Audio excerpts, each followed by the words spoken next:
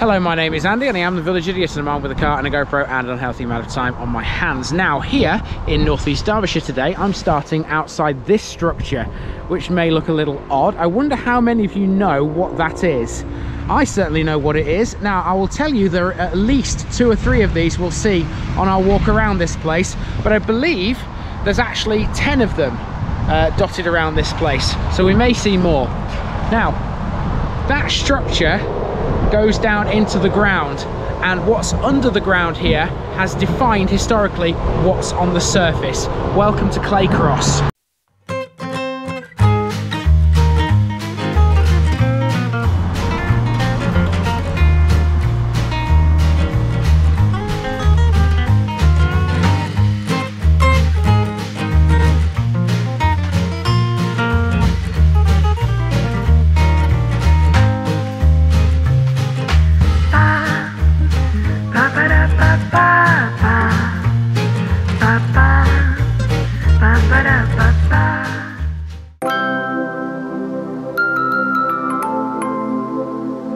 Claycross is a former industrial and mining settlement about five miles south of Chesterfield. It lies directly on the A61, a former Roman road. Surrounding settlements include North Wingfield, Tupton, Pilsley and Ashover.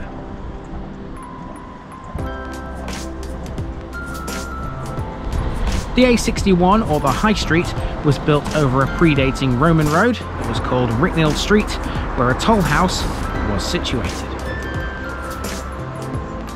The discovery of coal in the area introduced the village to the Industrial Revolution. Pack horses at first transported over the peaks on a turnpike road opened in 1756 between the iron foundries of Derby and Sheffield.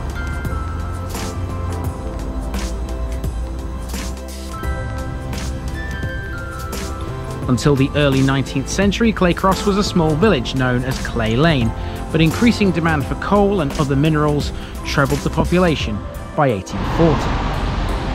A map from 1833 simply showed Thanet Street and Clay Lane.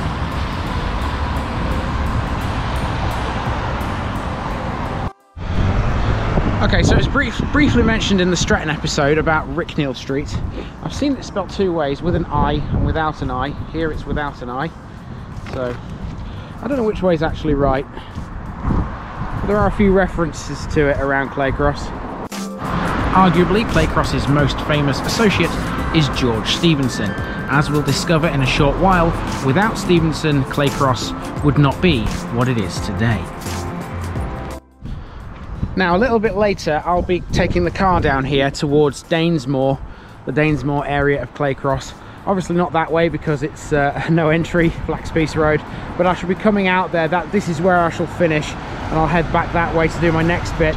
For now, I'm walking up Broadleys back into the town centre. And I feel like I must correct myself from the North Wingfield episode because I referred to Claycross as a town. It's not a town. The only town in northeast Derbyshire is Dronfield. Claycross doesn't have town status, which is a bit weird considering it's got all the hallmarks of a town. But there you go.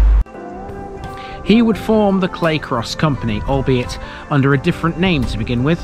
When Stephenson died in 1848, his son Robert took over, leaving the company in 1852 when it became formally known by the name of the Claycross Company. In 1840, the Stephensons built Eldon House as its office headquarters, which latterly was converted into a private dwelling. The Stephensons also built more than 400 miners' cottages. In addition, they set up elementary schools and consecrated new churches. The company provided the town with almost all of its energy needs in gas and electricity.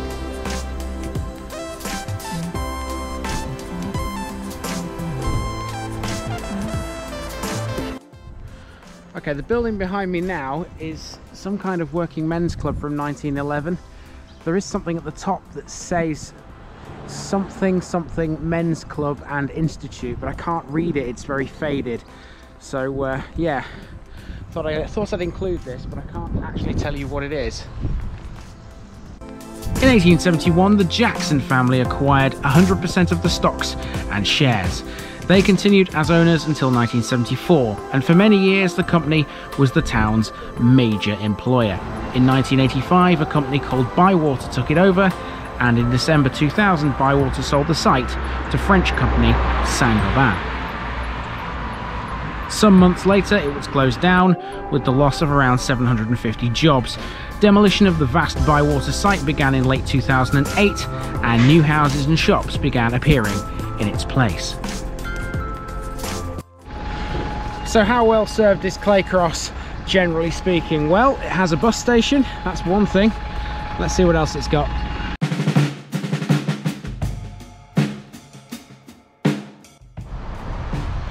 There are a total of 11 buses that serve Claycross, with destinations including Chesterfield, Matlock, Clowne and Bolsover. And there's a service called the Comet, which calls through Claycross on its way between Chesterfield and Derby. This is a bus service we've briefly mentioned before. All the buses call at the central bus station, which is a recent development. Claycross Hall was built in 1845 for the Claycross Company's general manager, Charles Binns. It's now a resource centre and linked to the building next door. And next door is the Claycross Hospital, and this is not the first hospital the town has had. The house next to the former Victoria Hotel on the High Street was once the Claycross Colliery Hospital.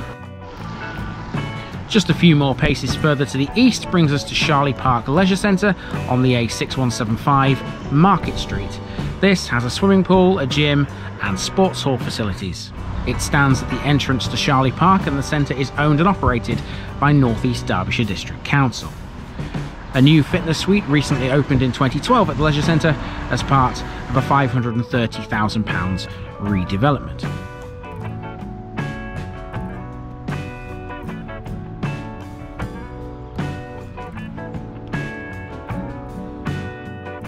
Is quite extensive. It features some football pitches, cricket pitches, and even something for the golf fans out there.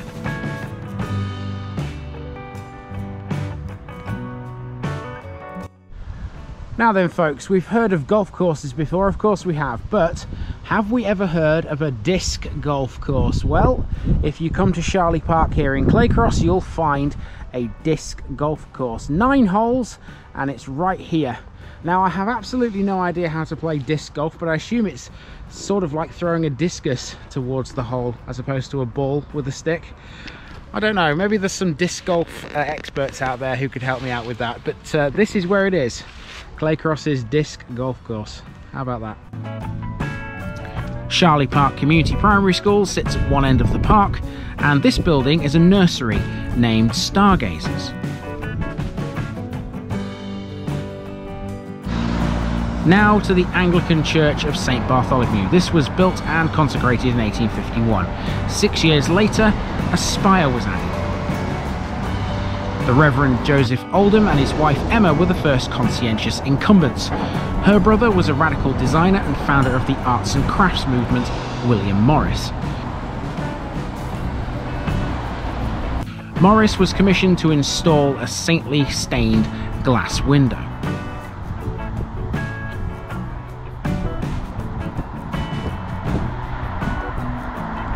The main war memorial for Claycross is situated outside the church.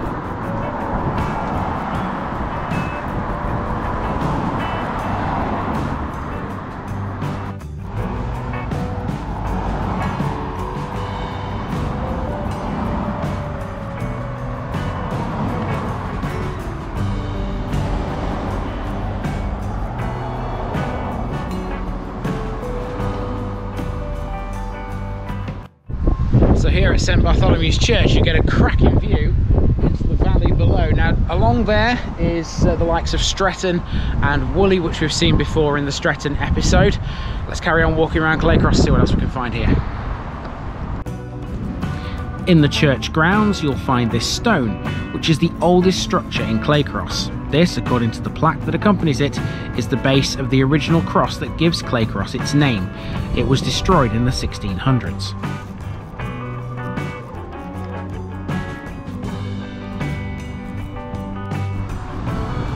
Other places of worship, and there are many in Claycross, include a Methodist church on the High Street,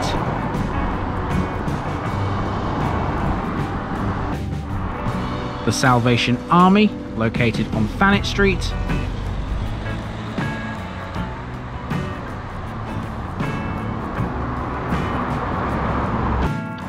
the Community of Christ, which is also located on Thanet Street,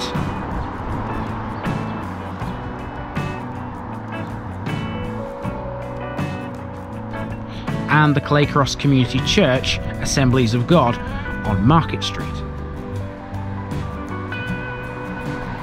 There are a few others too, including a Baptist church on Market Street which is now closed, and we'll see some more of the others in a short while. There are many shops in the town, some new and some very old. Market Street and the High Street have the oldest ones, these tending to be more independent retailers. In the 2011 census, Claycross was 97.7% white British with a 1.1% Asian minority. It covers an area of 9.242 square kilometres, which gives it a population density of 1,064. Claycross's town centre underwent a recent £22 million redevelopment, which has so far included a new supermarket, a new bus station, which we've already seen, and also a new relief road.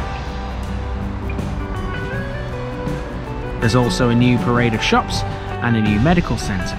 Claycross is a settlement that's well and truly on the up again now after having suffered job losses when the collieries closed.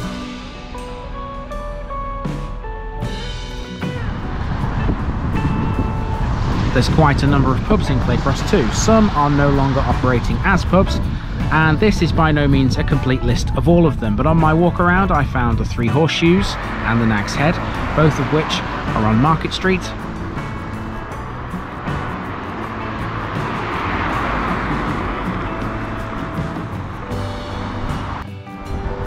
So too is the New Inn,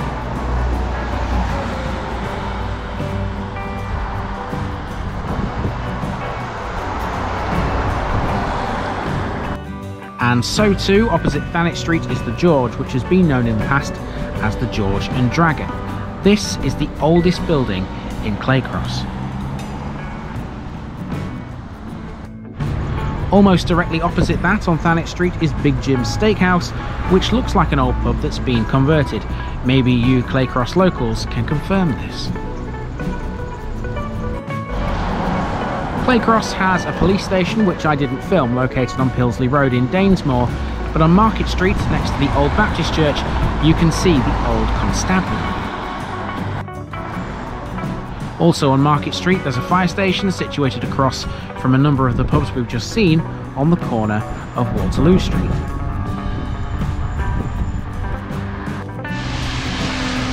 And there are a couple of vets here as well. Here's one such example on Broadleys, the Charlesworth Veterinary Surgery.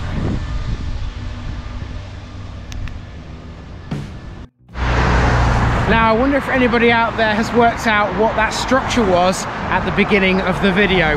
Well, we're about to find out. Let's go to the interesting features and there's one thing here in Claycross which goes above everything else. Let's go and find it down there.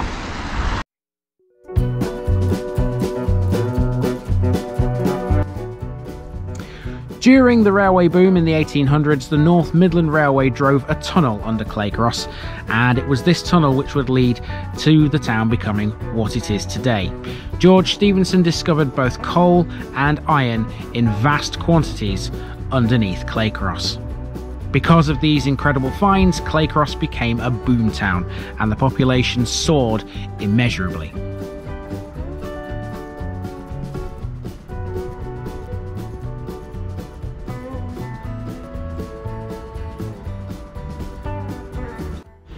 Now, of course, this is as close as I can get to the entrance to the tunnel because obviously there's fencing in the way and there's an, an active railway line down there. So obviously going down there would not be a good idea.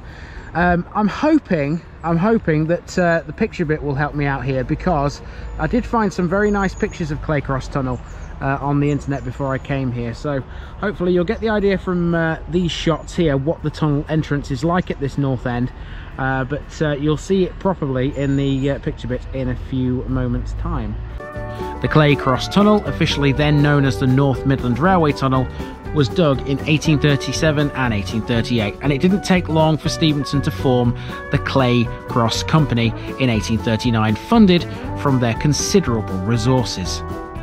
We're at the northern end of the tunnel here, and the portal is a Grade 2 listed building. This is as close as you can get to the portal, but further up the footpath that runs alongside this, there's a footbridge which supposedly gives you a great view. The Northern Railway portal is of magnificent Moorish design. The southern portal is inaccessible on foot. They almost look like castle turrets, don't they? They're very similar to that. You would have thought, you know, if you looked overhead uh, at the aerial shot of this, you'd have thought there was a castle here but uh, no this is just the entrance to the clay cross tunnel. So there you go. And it's uh, a fabulous piece of architecture. I should also mention as well that this footpath is in fact an old railway line in itself believe it or not. This is part of the Ashover Light Railway which no longer exists. We'll talk more about that in the Ashover episode So what are those strange structures that we saw at the beginning of the video?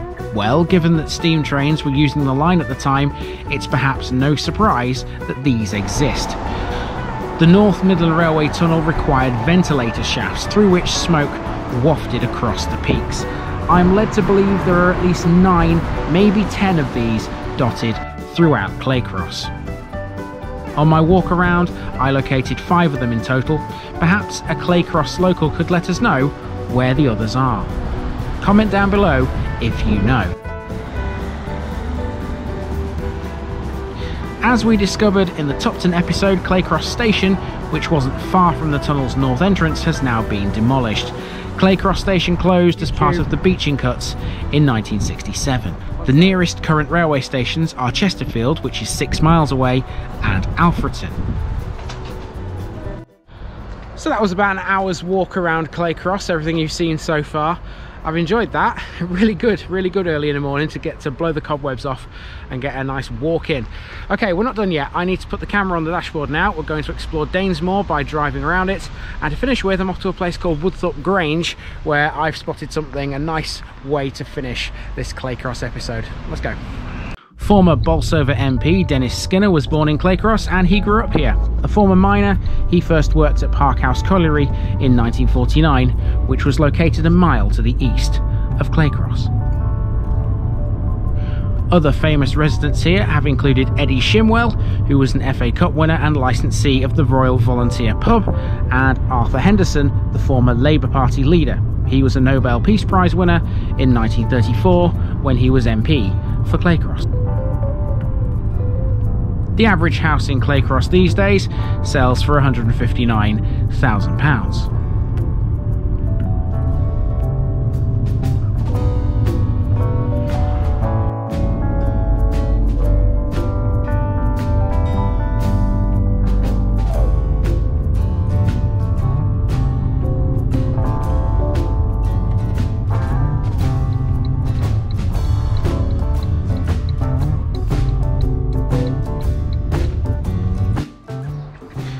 I stopped briefly in Danesmoor to check out this war memorial and the St Barnabas Church, an Anglican congregation meeting at the St Barnabas Centre on Pilsley Road.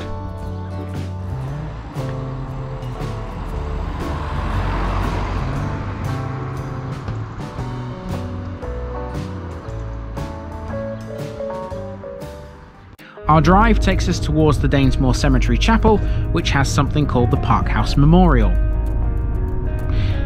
In November 1882, an underground explosion brought the collapse of the pit shaft at Parkhouse Colliery, causing the death of 45 men and boys.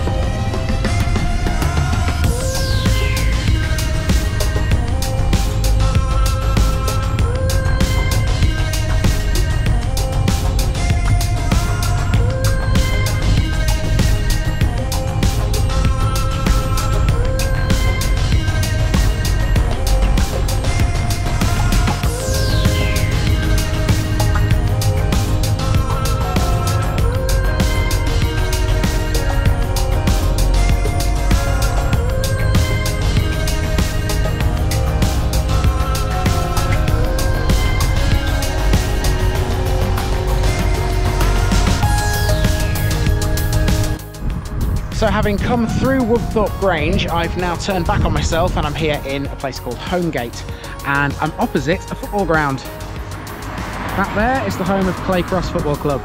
Let's see how close we can get to this because it looks like it's a little bit obscured with trees and bushes and things. Hopefully we can get a few good shots of it.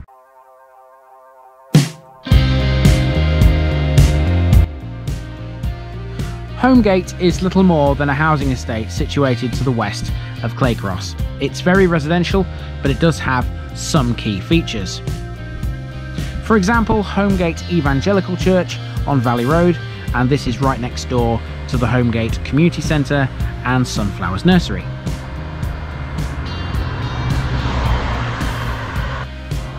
Just to the west of Holmgate, there's the Bateman's Mill Hotel, originally called the Woodthorpe Mill.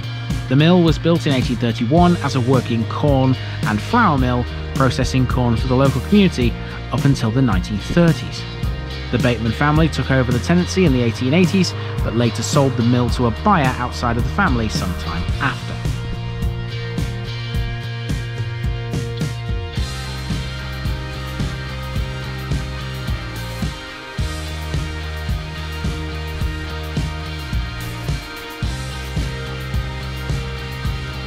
Five football clubs from Claycross, all now extinct, have competed in the FA Cup over the years. These are the original Claycross Town FC, formed in 1874, Claycross Zingari FC, Claycross Town FC, formed in 1909, Claycross and Danesmoor Welfare FC, and Bywater FC, who are also formerly known as Claycross Works FC. The town's current team, the third to be called Claycross Town, play here in the Central Midlands Football League.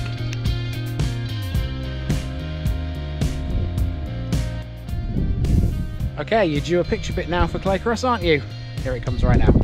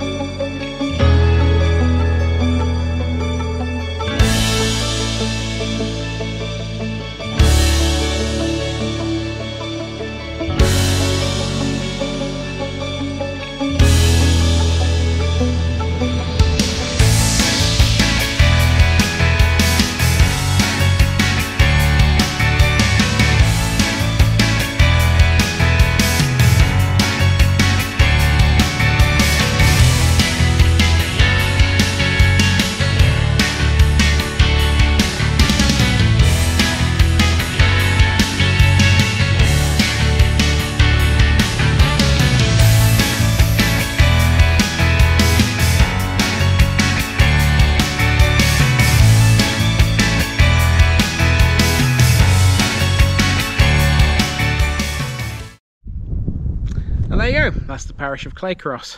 And I think the rain is just about to start. So in my next North East Derbyshire video, which you're going to see, I might be getting wet. Hopefully not, but it, is starting to spit now. So good job I've got the raincoat on. Hope you've enjoyed the parish of Claycross. That leaves us with four now in North East Derbyshire. And uh, yeah, it's been a, a, good district this one so far, hasn't it? But I think the last four are probably the four of the most interesting that this, this one's got to offer and I'm going to my next one now. So this has been the parish of Claycross and I've been Andy, also known as the Village Idiot, and I'm out.